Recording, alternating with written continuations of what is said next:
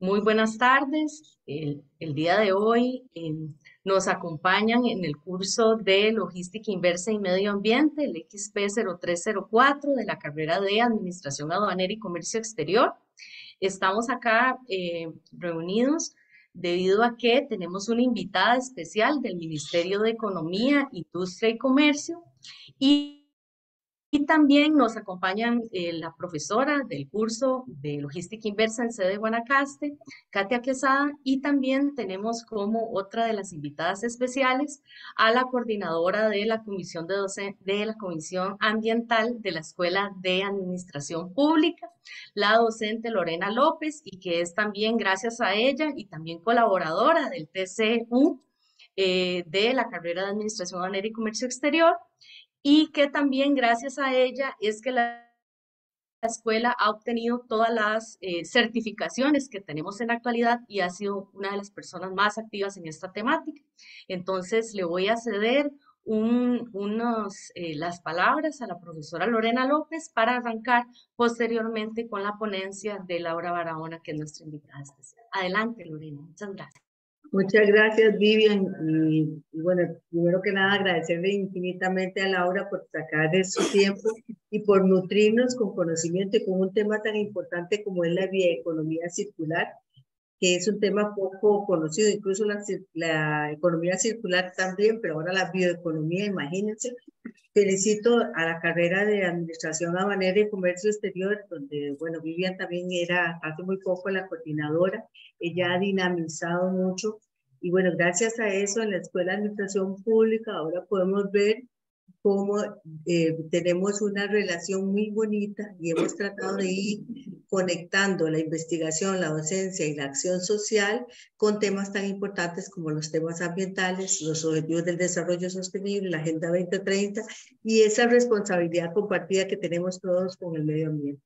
Ustedes saben que en Costa Rica incluso existe la Ley General de Gestión Integral de Residuos que dice que es de acatamiento obligatorio de toda persona física o jurídica, o sea, toda empresa, toda persona, tenemos la responsabilidad de hacernos cargo de nuestros residuos, de todo lo que generamos, de buscar la manera más amigable con el ambiente para este, que estos sean canalizados hasta ese objetivo. Entonces hay una responsabilidad enorme, hay poco eh, realizado a la fecha, desde la Comisión Ambiental, en la cual Vivian ha estado, Janela y otros profesores de la escuela y estudiantes que participan muy activamente, hemos eh, eh, tratado de sensibilizar sobre estos temas y así que le agradecemos muchísimo a Laura por el aporte, porque hay mucho por hacer y a, y a, las mangas y a ponernos la camiseta por el ambiente. Gracias. Muchas gracias. Muchas gracias, Lorena. A continuación, eh, le vamos a ceder la palabra a Laura Barahona Carmona. Ella es economista enfocada en temas de investigación y desarrollo sostenible. Actualmente se desempeña en la dirección de investigaciones económicas y de mercados de el en el 2018 formó parte del equipo coordinador y formulador del proceso de construcción de la Estrategia Nacional de Bioeconomía y es integrante del Comité Interinstitucional de, Bioeconomía y de Economía Circular. Entonces, sin más, le cedemos la palabra a Laura Barahona. Carmona, adelante. Muchas gracias por acompañarnos. Muchas gracias a ustedes por la invitación. Y bueno, como decía la profesora Lorena, hay mucho por hacer y qué importante que estemos acá reunidos en torno a este tema y que sigamos uniendo esfuerzos. Creo que, como vamos a ver más adelante, de hecho, el tema de la comunicación y de la sensibilización, educación en general a la población es fundamental para el avance de estos temas. Entonces, bueno, mi presentación se llama Bioeconomía Circular y Desarrollo Sostenible, experiencias desde el sector público costarricense. Estas son algunas de las experiencias, em, tal vez de las que yo he estado más cercana, ¿verdad? No podría jamás decir que voy a ser exhaustiva sobre todas las experiencias que tienen los distintos ministerios, pero sí voy aquí a dar una digamos, pincelada de lo que yo he estado participando más cercanamente, tanto desde desde el MEIC, como decía la profesora Vivian, que es donde me desempeño ahora, y también em, como estuve participando incluso desde antes de estar en el MEIC en la eh, construcción y formulación de la estrategia de bioeconomía. Tal vez para iniciar, eh, yo pensé que era importante partir de la definición, ¿verdad? De qué es bioeconomía. En la estrategia de Costa Rica se quedó esta definición que está basada en la Cumbre Mundial de Bioeconomía del 2018, en la cual se entiende la bioeconomía como la producción, utilización, conservación y regeneración de recursos biológicos. Cada uno de estos verbos es muy importante para ir después como viendo toda la, la función y como el proceso que tiene esta, cada una de estas acciones en que pueda ser circular, por ejemplo. Em, incluyendo los conocimientos, la ciencia y la tecnología y la innovación relacionados para proporcionar información, productos, procesos y servicios en todos los sectores económicos, con el proceso de avanzar hacia una economía sostenible. El hecho de que esté involucrada la ciencia, la tecnología, la innovación, los conocimientos, es también un factor fundamental y que explica mucho de por qué la estrategia de bioeconomía en su momento, eh, quien la coordinó fue el Ministerio de Ciencia y Tecnología.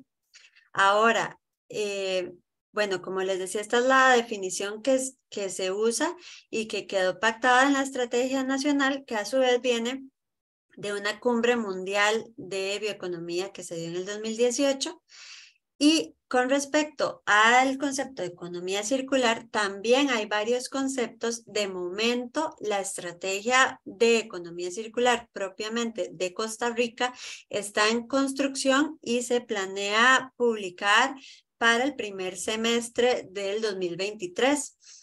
Em, de momento, el, el, concepto entonces que les estoy compartiendo está basado en una serie de documentos y em, en síntesis lo que dices que este es un enfoque que promueve la reutilización de materiales para alargar el ciclo de vida de los productos, buscando un flujo circular de recursos, productos y recursos reciclados.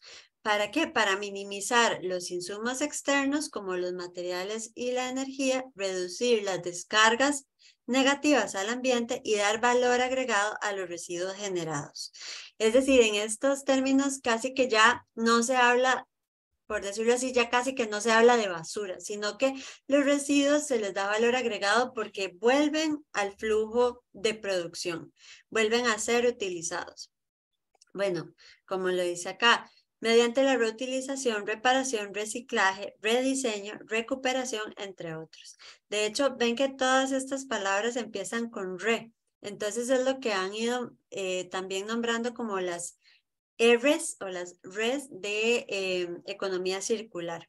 Ya van por, aquí estamos mencionando cinco, pero ya hay como ocho o más, ¿verdad? Porque son verbos de nuevo o acciones que se, que se van agregando para lograr este flujo circular de los insumos y los productos. Este, este enfoque concepta, perdón, considera el impacto de los productos en el ambiente e impulsa la gestión eficiente, la innovación, desarrollo de negocios y la competitividad. Cada uno de estos conceptos que acabo de decir, bioeconomía y economía circular, como les decía, pueden tener distintas concepciones a nivel internacional. Entonces, em, la de bioeconomía es la que se definió en la estrategia y la de economía circular está por decirlo así, en proceso de definición la estrategia, pero este es, estos son terminologías que ya se están usando. Y como veremos más adelante, desde el sistema de infraestructura de calidad, por ejemplo, también se han ido dando definiciones formales em, por la importancia de poder tener también estándares.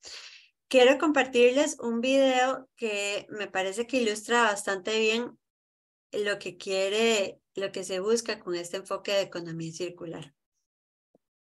Me avisan por favor si se está viendo el video.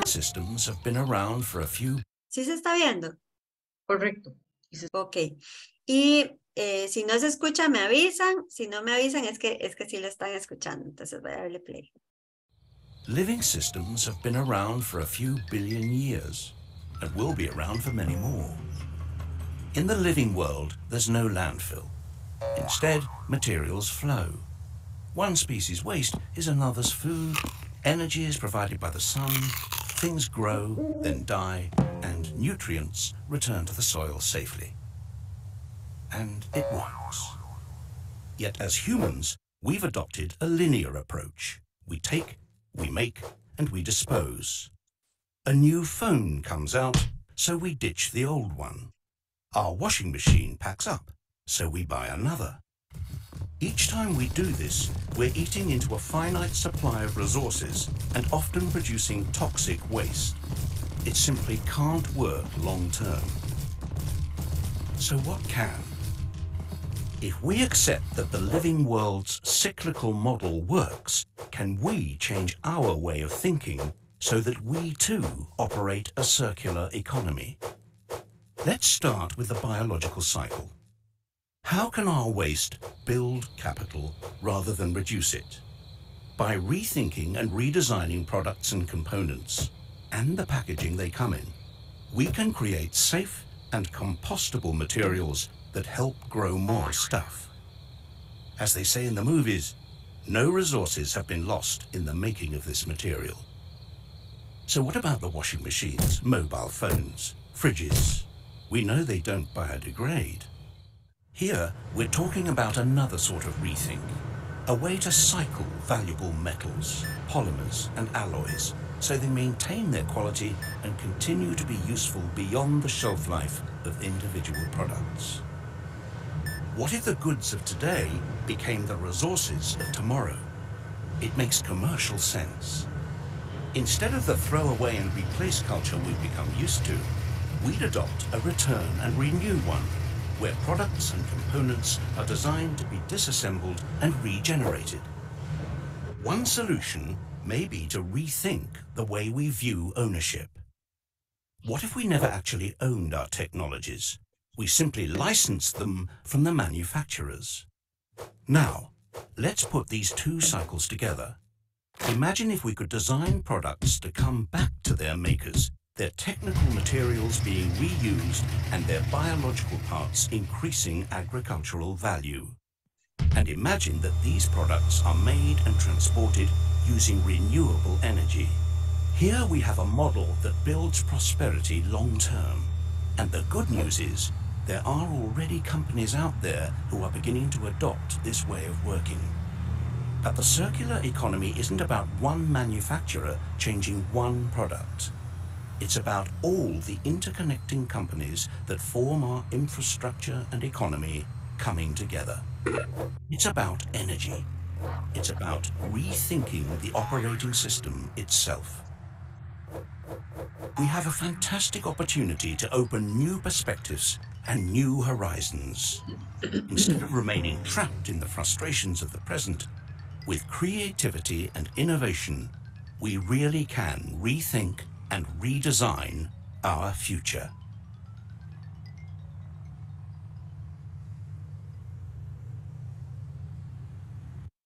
Muy bien, eh, voy a regresar a la presentación.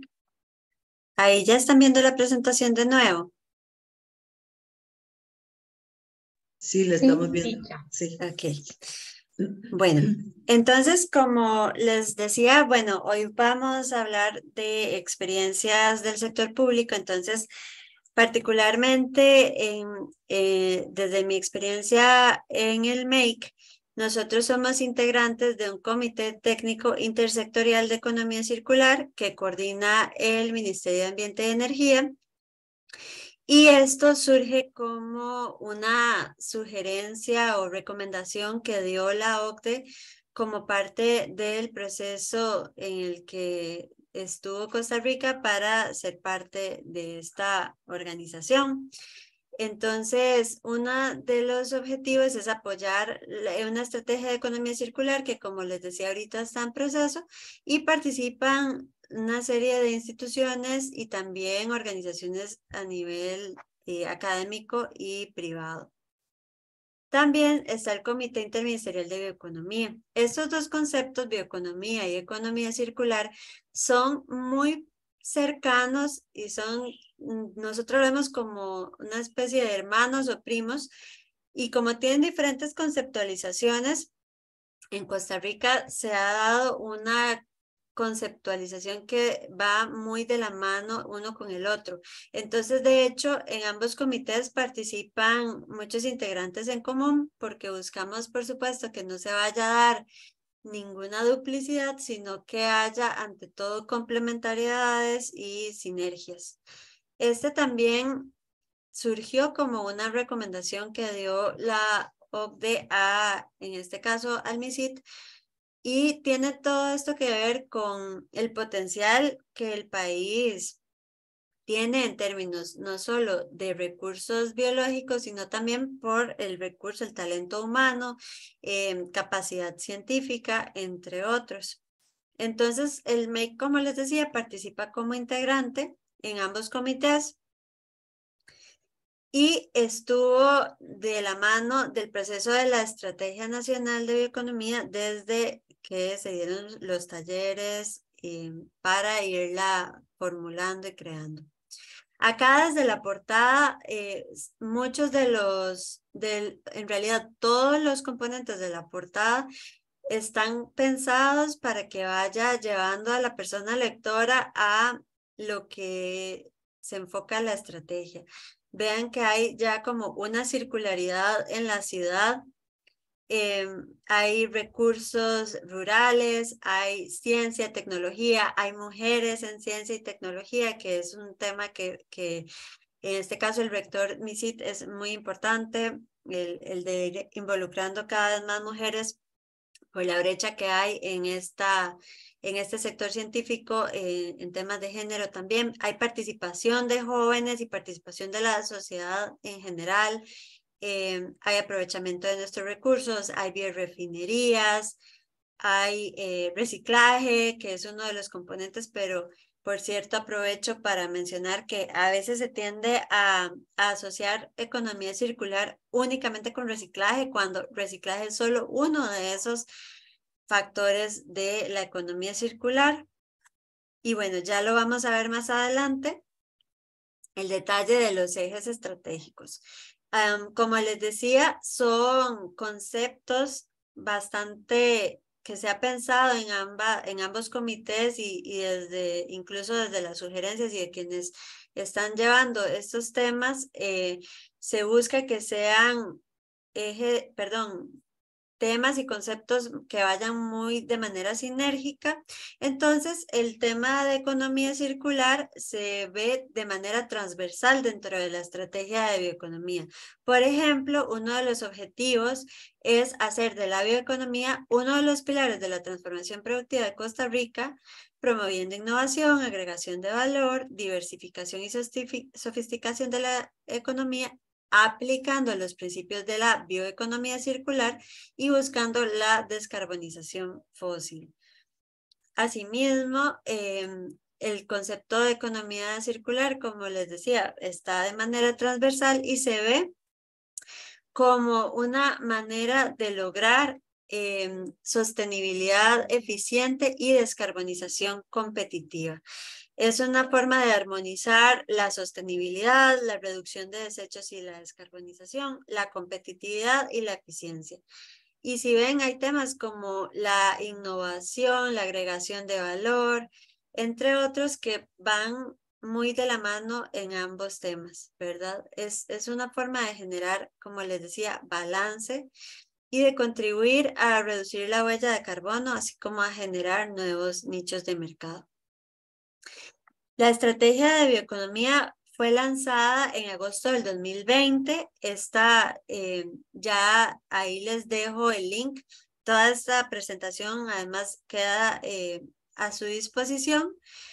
Entonces ahora tal vez eh, voy a pasar sin entrar en demasiado detalle en cada uno de los ejes, pero les dejo el link de la estrategia, también un link del resumen Y eh, ahorita, para efectos del tiempo, pues mencionarles que tiene cinco ejes estratégicos y cinco ejes transversales. Ya vamos a ver un poquito más en detalle cada eje estratégico, em, pero sí decir que cada eje transversal se consideró transversal porque todos ellos son necesarios para cada uno de los ejes estratégicos. De manera que lograr cada eje estratégico, los objetivos de cada eje, requiere de estos ejes transversales. Y por eso les decía que este tipo de eventos lo agradecemos profundamente a, a la escuela y a la universidad de Costa Rica, que en este caso está dando este espacio porque es muy necesario esta parte de comunicación con la sociedad, de educación y desarrollo de capacidades. Ahora, el tema de acceder a mercados, de contar con incentivos, con financiamiento, con inversión extranjera, son también necesarios para cada uno de estos ejes y como les decía, todo lo relacionado a investigación, desarrollo científico, tecnológico e innovación va muy de la mano con estos temas. Cada eje, como les mencionaba, eh, pues tiene sus objetivos y sus líneas de acción. Ahorita no voy a detenerme demasiado en cada uno, pero sí ver que cada uno tiene un énfasis hacia un sector productivo, ¿verdad? Que para efectos desde el punto de vista, por ejemplo, de economía, podemos ver que, que se enfoca en un desarrollo productivo para un sector especial, en este caso, en el eje estratégico número uno, bioeconomía para el desarrollo rural, hay énfasis en las actividades agropecuarias, pesqueras y forestales. En el eje número dos de biodiversidad y desarrollo se busca un énfasis a toda la actividad productiva y uso sostenible de los recursos de la biodiversidad. Acá hay, hay experiencias también muy innovadoras porque a veces tal vez todavía cuesta como asociar este, este tema de la biodiversidad con, con innovación, por ejemplo, pero muchas acciones que ya el país ha venido avanzando, como por ejemplo bioturismo, algunos corredores biológicos que ya eh, se han ido dando en el país. Em, hay eh, experiencias muy interesantes, por ejemplo, em, en materia de bioprospección y usar moléculas que surgen de, a partir de la investigación de la biodiversidad y que luego pueden ser usadas en productos que son comercializados tanto dentro como fuera del país. Em, desarrollo de tecnologías digitales. Tal vez creo que hay algunas personas con que no, que no tienen el silencio activado. Listo, ya lo silenciamos. Listo, gracias.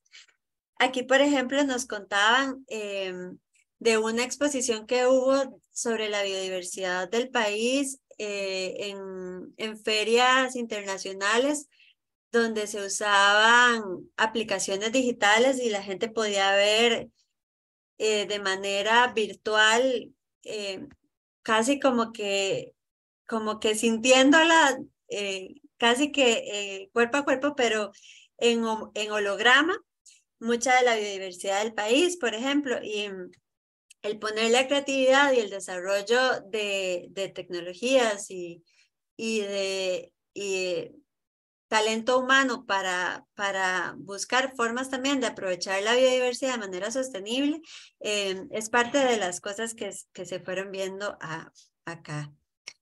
El tema de la biorefinería de biomasa residual, acá, por ejemplo, sabemos de algunas iniciativas que se han dado en la Escuela de Tecnología de Alimentos con el CITA, que es el Centro de Investigación y Tecnología de Alimentos, si mal, si mal no recuerdo, si no me equivoco, la, esas son las siglas, eh, donde se aprovechan y habían eh, ya algunas propuestas que a través de biorefinerías eh, en el momento que supe estaba como un prototipo, pero se usaban, este, se podían usar biorefinerías, por ejemplo, para el uso y aprovechamiento de residuos de la piña y eso a la vez iba a ayudar a dar solución a serios problemas que han habido con los residuos de la piña. Por ejemplo, también hay experiencias con residuos del café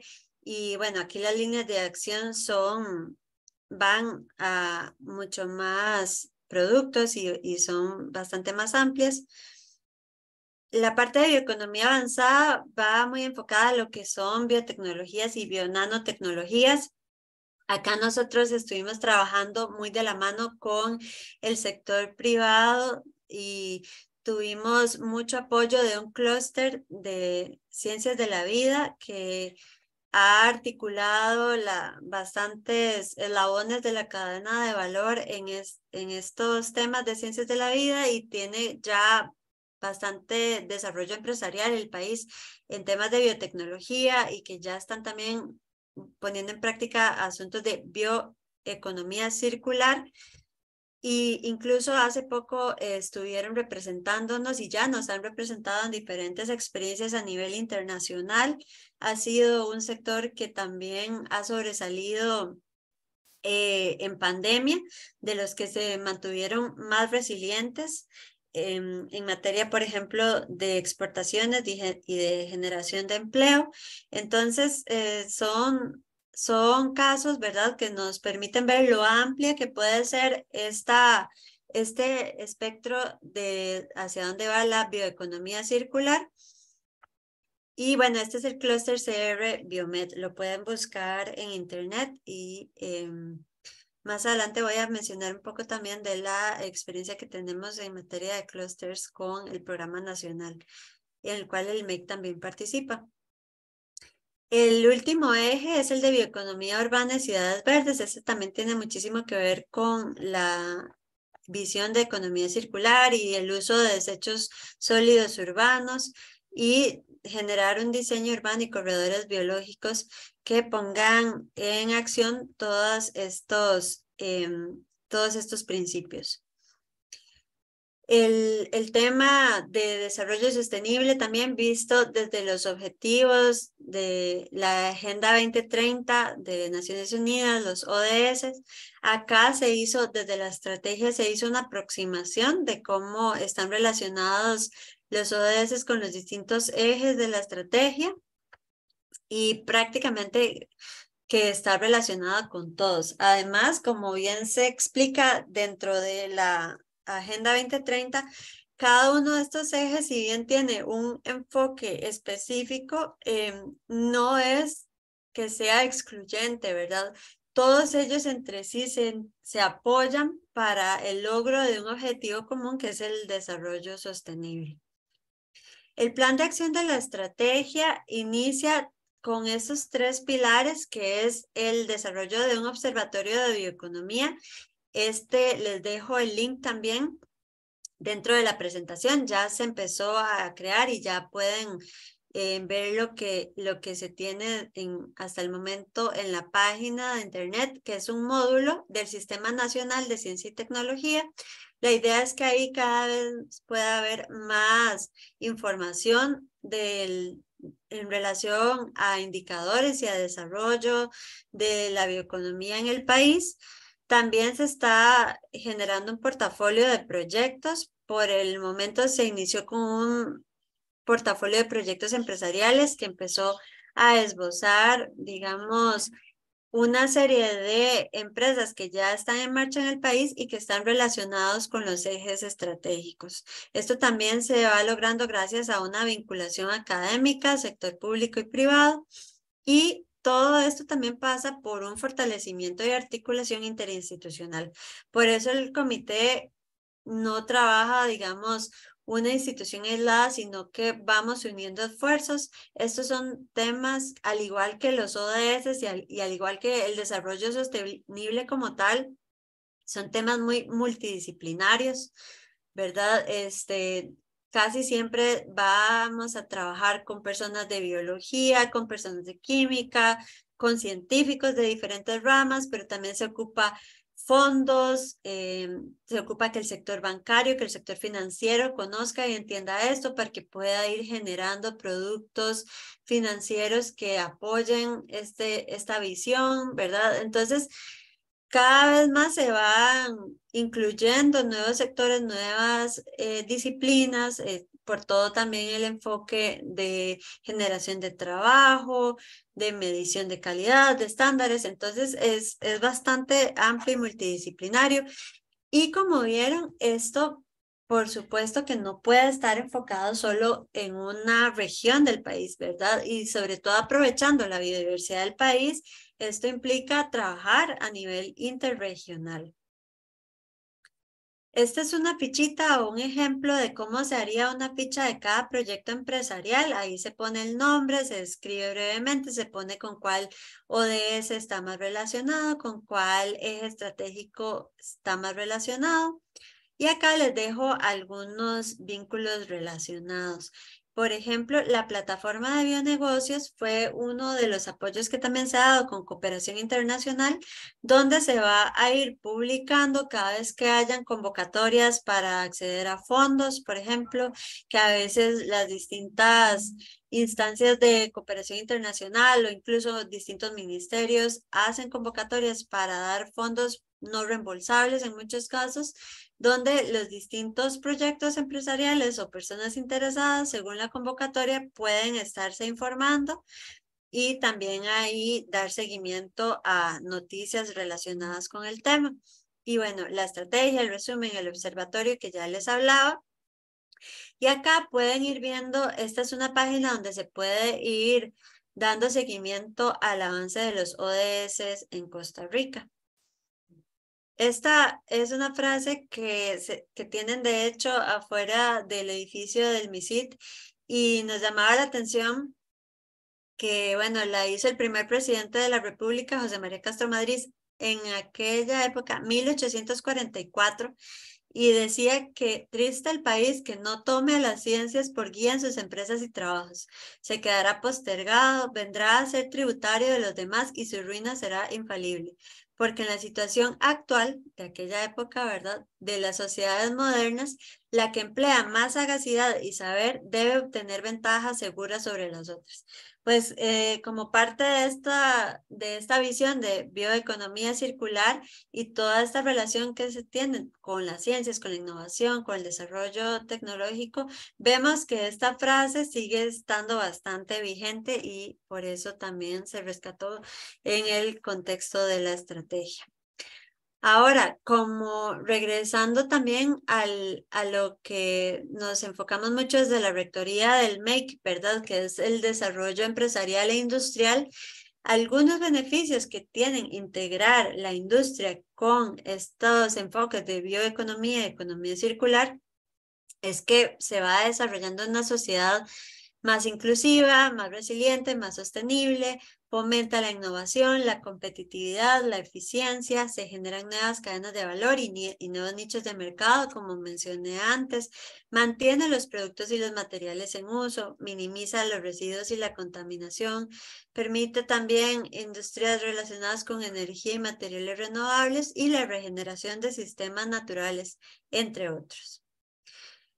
¿Cuál es la visión MIPIMES al 2026? Bueno, siempre seguir fomentando el emprendimiento y la formalización de los negocios del país, la internalización y el encadenamiento de las MIPIMES, todo lo que son desarrollo de encadenamientos productivos es fundamental para toda esta visión que les venía mencionando, incluso de cada eje estratégico, todos, todos tienen en común que se busca una agregación de valor y una sofisticación de, de la cadena productiva y de, de los productos que, que se hacen. Esto está muy relacionado con este encadenamiento, ¿verdad? Para que no nos quedemos únicamente solo en el mercado nacional, sino que podamos ser también más competitivos, inclusive a nivel internacional. Como les decía, el acceso a crédito es, de, es completamente necesario para esto y en esto tiene una serie de desafíos propios porque el crédito tradicional, por ejemplo, no necesariamente tiene em, el acceso a, o el reconocimiento de garantías como ciertos laboratorios o garantías relacionadas a este tipo de negocios. Entonces, todo esto implica también una transformación a nivel financiero de productos que se ofrecen, entre otros. Por supuesto, empresas sostenibles y innovación y transformación digital, ¿verdad? Que como pueden ver, van, ya hay temas que se van repitiendo, ¿verdad? Porque son completamente transversales a estos enfoques.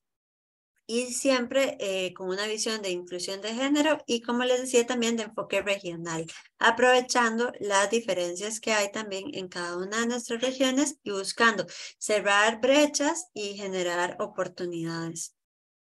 Otras experiencias y proyectos que llevamos en el MEC y que se relacionan mucho con estas temáticas, bueno, es apoyo en la formulación de política pública, como les decía, la de economía circular que ahorita va a lanzar, hemos estado, bueno, que se va a lanzar en el primer semestre del 2023, hemos estado participando activamente en esta formulación. Em, ahorita les voy a mostrar algún, un poco más en detalle esto. También la generación de capacidades, estos son enfoques bastante innovadores y entonces implica también ir generando nuevas capacidades y fortaleciendo las que ya hay. Una visión de producción y consumo sostenible, en esto también ya existe una política que coordina el MINAE y nosotros también somos, eh, apoyamos y reportamos acciones en esta temática definitivamente vamos muy de la mano con apoyo en cooperación internacional, pero también buscamos que haya proyección a nivel internacional de los negocios que se van generando al país. Como les decía, existe un programa nacional de clusters en el cual el MEC participa activamente. Hay una unidad dentro del ministerio con la cual yo como representante de los comités coordino constantemente y como les decía, un, uno de los clusters más maduros del país es el de CR Biomed, que estuvo y participa también muy activamente en, en darnos también esa visión del sector en esta materia, pero no es el único, por supuesto. Y también temas de calidad y normalización técnica que ya ahorita les voy a mostrar un poco más en detalle. También tenemos dentro del, del marco de política pública y de ese apoyo que se genera, tenemos la Política Nacional de Empresariedad, dentro de la cual nosotros como MEC somos articuladores y buscamos generar esas sinergias, coordinaciones y articulaciones con otras instancias como el INA, como el MEP, como el MISIT, como Banca para el Desarrollo, como Procomer, entre otros, de acuerdo con los diferentes objetivos que se quieran lograr. Esto, como les decía, eh, implica también trabajo con otros sectores y en, en todas las regiones del país.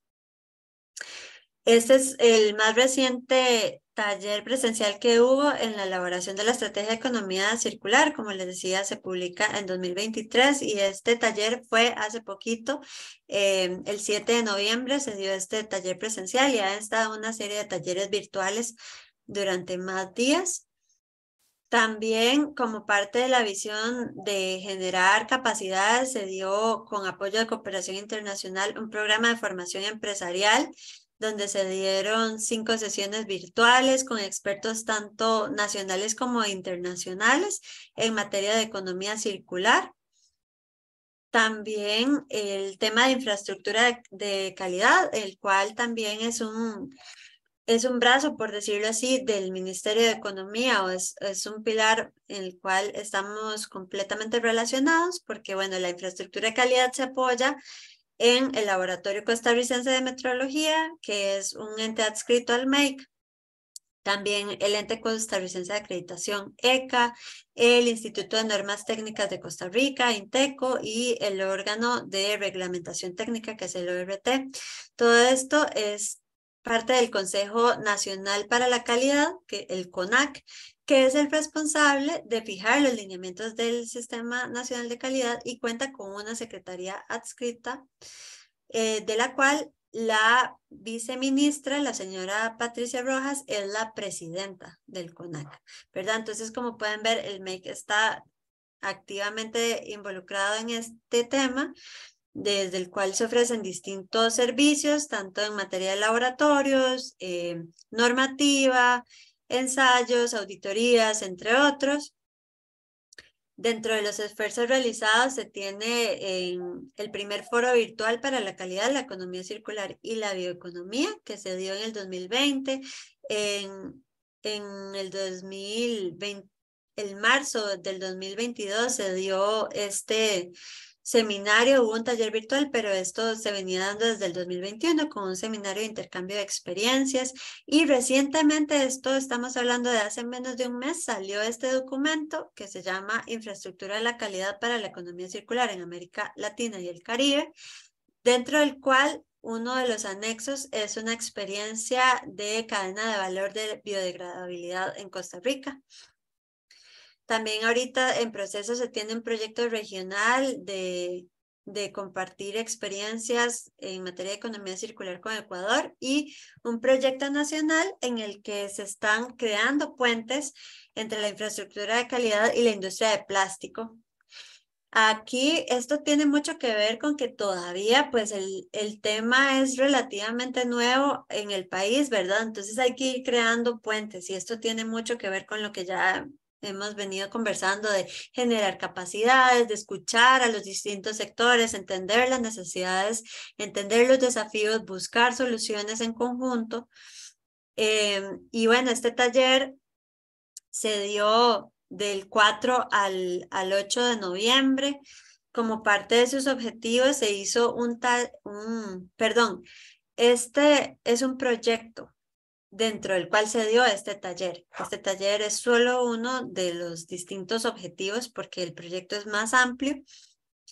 Y eh, una de, las, de los productos muy interesantes que generó este taller fue lograr una cadena de valor donde se invitó a representantes de todo el país y de distintos eslabones para entender, digamos, desafíos, porque a la vez cada eslabón tiene un, tiene desafíos distintos, ¿verdad? Entonces están desde la parte de los insumos y las materias primas, los que diseñan y producen, desde los que luego distribuyen también la visión de los consumidores y los gestores de residuos y transformadores.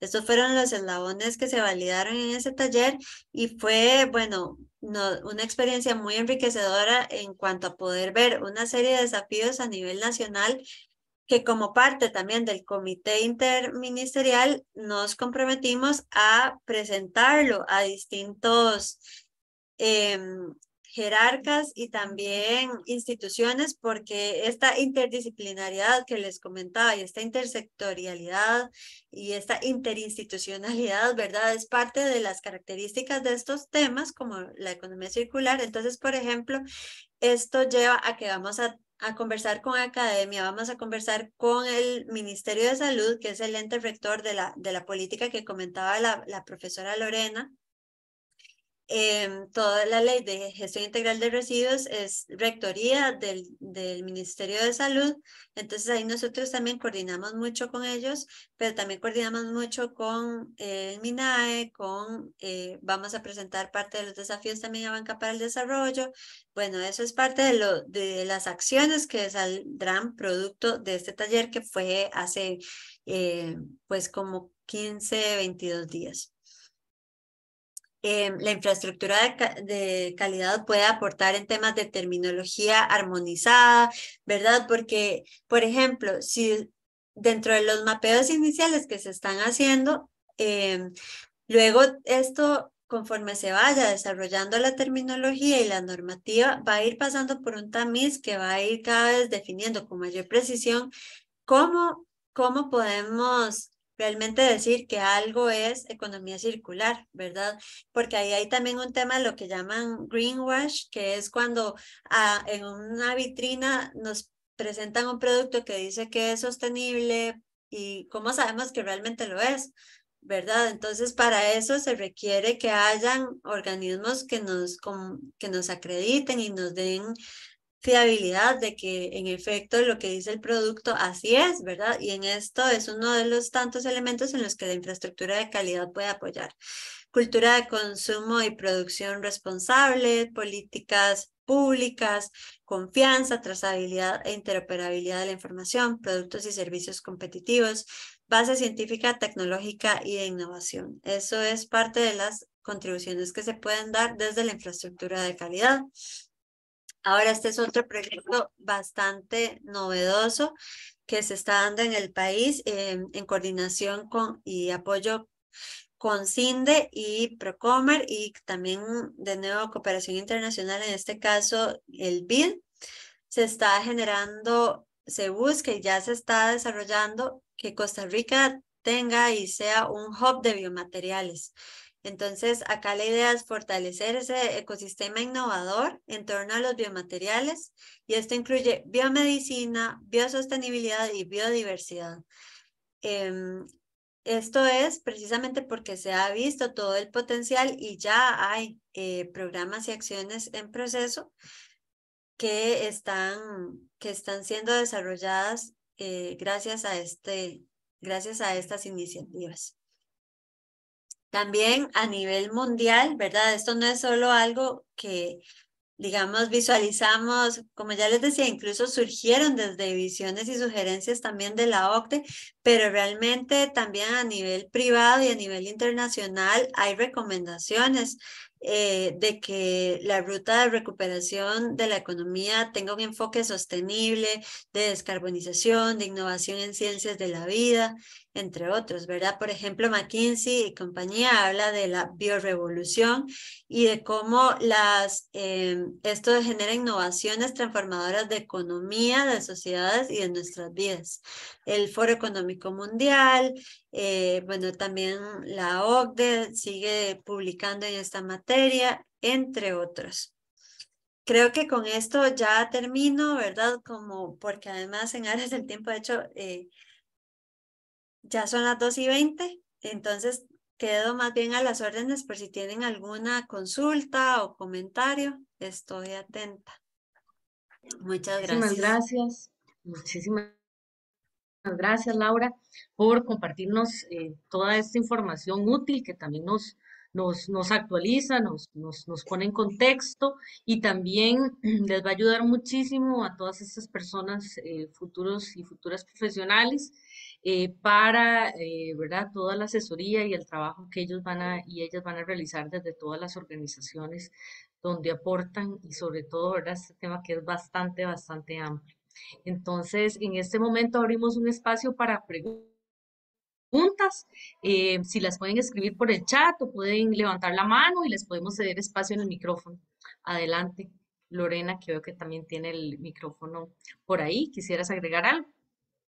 Sí, claro, bueno, primero que nada, agradecerle montones a, a la este, expositora por tanta información. Yo sinceramente debo ser honesta, me perdí un poquito, porque estoy impresionada de todo lo que se está haciendo en el país y bueno, tengo muchas preguntas, pero sobre todo felicitar a Laura por, por todo el esfuerzo que hizo por sintetizar, porque vean que esto a nivel país es demasiado y de verdad que me encanta ser representante del mismo porque digo yo, bueno, estamos apostando a las grandes ligas, ¿verdad?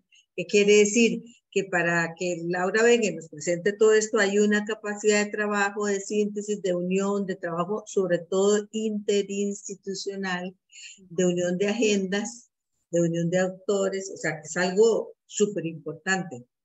Entonces, de ahí que también, bueno, alabo esa, esa gran iniciativa. Sin embargo, lo que me preocupa o lo que me cuestiono, ¿verdad? Para que tal vez el, el auditorio le quede bien claro, ¿verdad? Es, bueno, ¿cuál es esa gran diferencia? Yo me perdí, yo le soy franca, estaba leyendo la, la, la definición varias veces y me quedan todavía dudas, porque sinceramente es la primera vez que escucho hablar de bioeconomía circular. Entonces creo que es muy importante para, en honor a la verdad, ser honesta y decir, por favor, en cristiano, porque ahí tenemos la definición, ¿verdad? Que dice la producción, utilización, preservación y regeneración de recursos biológicos, incluyendo los conocimientos. O sea, involucra todo lo que tiene que ver con los recursos biológicos. Por supuesto que entendemos que es más amplio que la economía social porque involucra todo, desde la producción, la utilización, la conservación, la regeneración de todos esos recursos biológicos y dice además incluyendo los conocimientos, la ciencia, la tecnología, la innovación relacionados, y de verdad que nunca antes lo habíamos visto la economía circular desde esa perspectiva. Lo otro que también, y aprovecho para hacer dos preguntas, tengo más, pero voy a hacer solo dos. Lo otro es que yo quisiera que, que nos contaras si, si el, o sea, yo, yo entiendo que los ministerios siempre están cargados de trabajo y demás. ¿De dónde viene la iniciativa? Si es de esta, la adhesión a la OCDE o si venía desde antes, que eso ha involucrado a nivel país en términos de recursos, porque bueno, eh, son más, más funciones a, a, muchas personas. Entonces, nos interesa saber eso, ¿verdad? ¿Cómo es que el país se involucra y cómo lo echa a andar, ¿verdad? Con esa estrategia que sabemos que no es fácil. Y yo de verdad les felicito porque eh, a mí me parece que, que, cuando entramos en certificaciones o en, en, nos involucramos con compromisos internacionales, eso hace que nos preocupemos más por limpiar la casa, por presentarla mejor y por hacer acciones. Entonces eso me encanta porque, bueno, igual nosotros en la escuela hemos tenido que ordenarnos, incluir estos temas y demás, y esto es lo que hace más rica nuestra, nuestra labor y, y formar profesionales cada día más integralmente mejor formados, ¿verdad? Uh -huh, uh -huh. Bueno, tal vez con respecto a la, la primera, eh, no, no me quedó tan claro la, la primera pregunta, es ¿Cuál es la diferencia eh, entre qué y qué? Entre las dos definiciones de economía okay. circular y, y entre economía. la bioeconomía circular. Ok, ok. Bueno, o sea, cristiano. Desde, ajá, desde el enfoque, ¿verdad? De esto que estábamos mencionando o de las definiciones que se usan en estas eh, presentaciones, básicamente la idea o la diferencia clave es que la economía circular no necesariamente solo va a estar basada en recursos biológicos, porque también puede tener eh, productos y negocios y estar enfocada en sectores que vienen como, como lo que se veía en el video, por ejemplo, de las lavadoras, eh, los eh, aspectos como digitales o electrónicos, ¿verdad? Buscar la circularidad de esas cosas que no necesariamente fueron creadas con insumos biológicos. Mientras que la bioeconomía sí viene a tratar de crear una transformación o su énfasis es tratar de cambiar la, todo lo que está basado en recursos fósiles para basarnos en recursos biológicos que, que a su vez son, también tienen esta capacidad de regeneración. Entonces, eh, se podría pensar que desde algunas ópticas, y también por eso es que el, el tema de saber qué definiciones estamos usando es ahí, tiene como su, su, su importancia clave, ¿verdad? Porque incluso en algunos países y en algunos lugares se ha dado como la discusión de cuál es más importante. Eh, y tal vez nosotros no queremos como ponerlas a competir de esta más importante que la otra, sino que las vemos así como hermanas, como complementos, como sinergias, ¿verdad? Y de repente, y este, que sí, que el MISIT está coordinando una y que el MINAE está coordinando la otra, y en este caso el, el MAKE como le interesa la generación de lo que es la rectoría, en, nuestro caso de desarrollo empresarial e industrial, apoyar toda esta visión, ambos, ¿verdad? Eh, pero básicamente la diferencia clave es esta, que la economía circular, de hecho hay un esquema que le llaman como el esquema de la mariposa porque parece como que tiene dos alas y en un ala se ve todo lo que viene de recursos biológicos y en otra ala se ve todo lo que viene de lo que llaman los recursos técnicos o tecnológicos, eh, que no necesariamente vienen de, de, recursos biológicos, pero que sí se le puede dar también circularidad. O, por ejemplo, algunas telas, telas sintéticas o así, que no necesariamente vienen de recursos biológicos, pero que también se está buscando generar esa circularidad. Eso, eso es tal vez como en síntesis. No sé si con eso queda más claro. A ver si entiendo bien, porque si después lo quiero transmitir a mis estudiantes o a alguien y, y a lo mejor me quedó mal. Usted me dice, o sea, pareciera que cuando empezamos a hablar de economía social dejamos de lado lo que pasa con los recursos o los residuos, ¿verdad? bueno, con los recursos, porque estamos hablando en, en forma integral de ellos, este, de los recursos biológicos, que como me encontré una definición por acá que dice que los recursos biológicos son, es un, es un perdón, ya se me hizo, los recursos biológicos incluyen los recursos madereros, acuáticos y una grama de otros recursos animales y vegetales como ganado, huertos, cultivos, animales silvestres, hongos, bacterias. Los recursos biológicos constituyen una parte importante de la biodiversidad y de los ecosistemas. Esta es una definición muy, muy básica que encontré muy rápidamente, pero es para no dejar de lado. Pero me llamó muchísimo la atención cuando dice acá en la definición, incluyendo los conocimientos la ciencia, los conocimientos me llamó mucho la atención. Interesante. Sí, ahí quiero también hacer énfasis en que, eh, porque podríamos quedarnos como con una visión bastante artesanal también, ¿verdad? Y em, se hace énfasis a toda la parte de conocimiento, que no es que lo artesanal se excluya, pero no quedarnos solo ahí, sino eh, aprovechar toda la agregación de valor que da la ciencia, la tecnología y la innovación aportados a, este, a estos recursos biológicos. Y bueno, en el caso de los que no son biológicos también, el diseño de una circularidad tiene que ver mucho con logística, por ejemplo, tiene que ver con todo un diseño de negocio, no solo del producto, sino del negocio, para que pueda ser circular. Ahí entra, de hecho, la, la logística inversa que abordamos en, en este curso. Exactamente.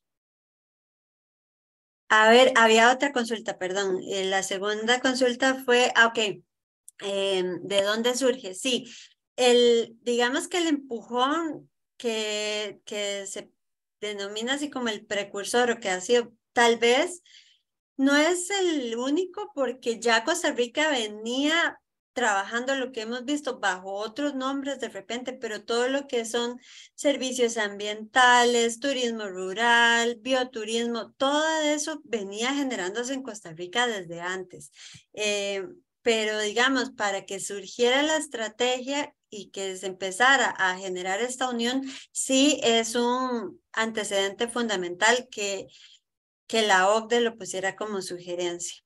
Entonces, ese es, digamos, como el punto de partida que nosotros mencionamos, em, aunque también se rescata, incluso cuando se daban los talleres de la elaboración de la estrategia y todo, siempre hablábamos de que no estábamos partiendo de cero y que ya el país tiene bastante camino avanzado en, en estos temas, ¿verdad?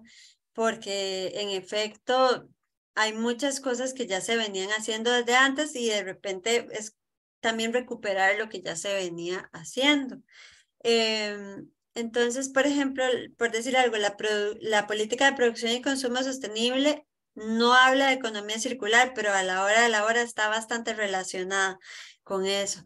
Entonces, em, pero tienen ciertas relaciones, pero tienen enfoques diferentes. Entonces, también como parte del desafío de esta generación de política pública es lograr ver que ya hay, ¿verdad? Por supuesto, revisar antecedentes y a partir de ahí ver qué falta, qué desafíos todavía continuamos teniendo y cómo unir esfuerzos para eh, poder avanzar con esa visión común, ¿verdad?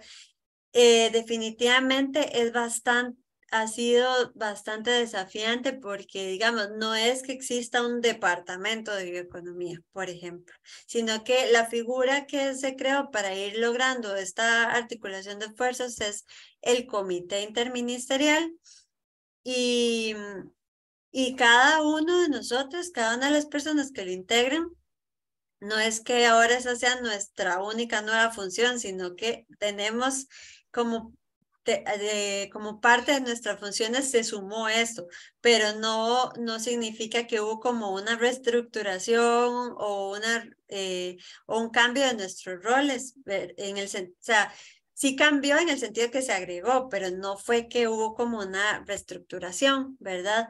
Entonces, cada uno de nosotros eh, también aprovechando la voluntad que hay, porque se encuentra la, digamos que hay bastante unión de esfuerzos porque la gente dice, sí, esto tiene sentido las, desde los jerarcas, ¿verdad? Em, porque no es que exista una, una ley.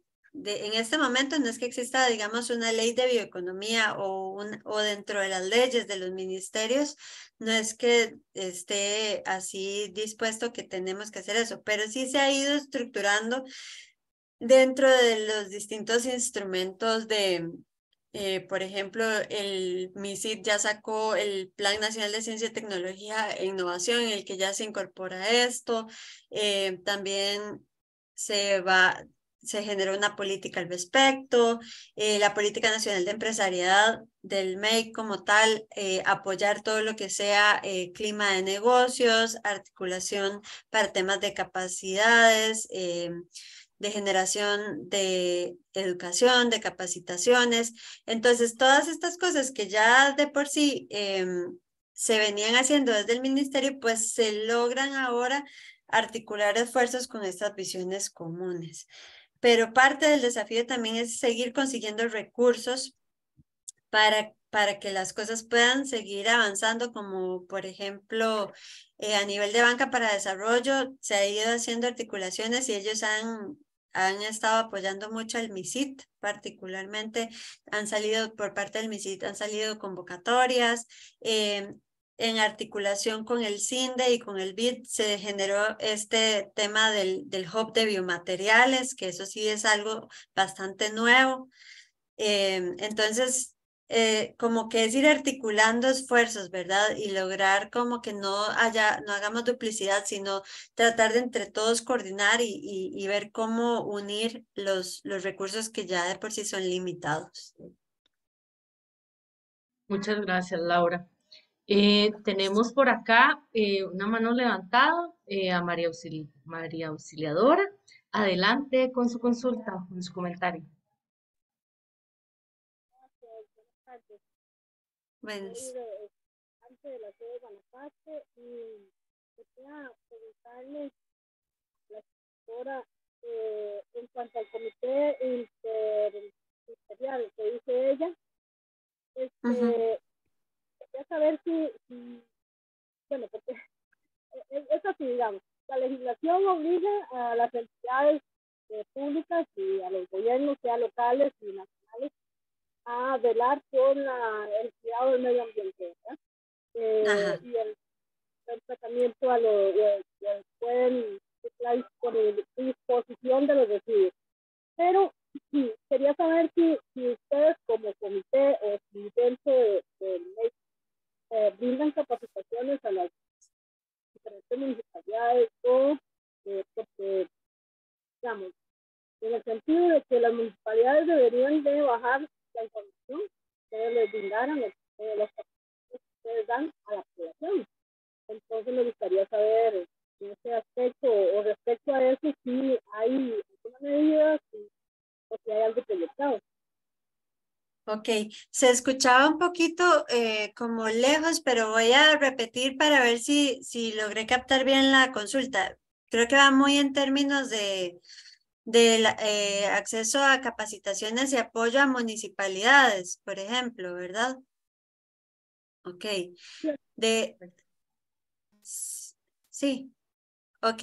Em, de hecho, que hay unas experiencias muy interesantes y voy a agregarlo, no lo puse dentro de los, dentro de los links, pero ya se hizo un proyecto piloto, una guía de economía circular para municipalidades y se hizo un proyecto piloto con la municipalidad de Turrialba porque eso fue muy en conjunto con el CATIE que está ubicada en Turrialba. Entonces salió una guía y eso fue compartido con todas las municipalidades. Eh, se hizo una presentación y la idea es igual que esa guía se pueda seguir eh, implementando ojalá en todas las municipalidades. Pero sí es cierto que eso también va a pasar mucho por la voluntad de cada municipalidad, ¿verdad? Porque nosotros ponemos a disposición del material, pero no podemos, por decirlo así, obligar a que las municipalidades lo implementen. pero eso tiene también, va a ir muy de la mano con esta sensibilización a la población en general, porque entre más también los mismos eh, consumidores y productores cada vez más vayan generando eh, interés, interesándose en el tema y generando alternativas, pues se va moviendo distintas fuerzas y se van haciendo distintas presiones para que las barreras que todavía tenemos se vayan, eh, se vayan eliminando o se vayan creando nuevas rutas, ¿verdad? Entonces les voy a compartir el, esa guía para la economía circular para municipalidades, porque sí, eso fue hecho coordinado por el MINAE como parte de, de también este, el seguimiento a la hoja de ruta que la OSD les dio. Excelente, muchas gracias Laura por la respuesta. Eh, vamos a ver, ahora mencionabas eh, lo relativo a, la normativa y nosotros acá en el curso, eh, ¿verdad? comparando y, y, estudiando y también escuchando algunas interpretaciones jurídicas de la ley 8839 para la gestión de residuos y su reglamento. Eh, e, es un marco digamos, eh, donde se, eh, ¿verdad? Donde se habla de las R's que vos ahora mencionabas, va muy de la mano con lo que nosotros hemos abordado en el curso de logística inversa, de lo que es la definición en sí de logística inversa, que incluye muchas de esas actividades que se mencionan en esa ley. De hecho, en el reglamento también se habla de diseño verde, entonces ya ahí estamos, eh, vamos a ver, moviendo la cadena de esa concepción y hemos hablado muchísimo acá de la necesidad de innovación, ¿verdad? Eh, y de que eh, los, los retos que se van a encontrar posiblemente todos los futuros y futuros, ¿verdad? Profesionales en las organizaciones van a ser de cadenas que no van a estar pensadas, ¿verdad? Eh, de logísticas de, de este modo circular, como nosotros lo vemos en el curso. Pero sí hemos hecho mucho énfasis de que tenemos de una u otra forma, ¿verdad? La ley de plástico, la política de producción y consumo eh, que vos ahora mencionabas, y sobre todo esta ley que va muy de la mano con lo que mencionabas ahora de economía circular y con lo que nosotros vemos de logística inversa.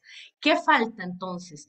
Porque, porque vamos a ver, ahí dentro de los objetivos y los principios generales se hace referencia, como ahora lo indicaba la compañera Lorena, a que todas las actividades, estamos hablando eh, que incluye, ¿verdad? Ese término, estamos hablando todas las actividades, estamos hablando del Estado, estamos hablando de las organizaciones, las empresas. Entonces tenía esa duda con la parte normativa de lo que mencionabas ahora, porque yo creo que sí tenemos eh, un buen, vamos a ver, no, no es tal vez el ideal y todavía tal vez nos falta regular muchas cosas y pero sí tenemos ya alguna base, por lo menos, una buena base, por lo menos de lo que nosotros vemos desde la teoría, donde nosotros ya podemos decir, sí, tenemos una normativa que nos respalda y esta es la ruta eh, hacia donde debemos ir. Nosotros acá también en este curso abordamos, porque muchas de las preguntas que nos hacen, eh, sobre todo las personas que llegan a este curso y en otros espacios, o las empresas en sí, ¿verdad? Los que vienen de las empresas, es qué es lo que podemos aplicar, ¿verdad? Entonces,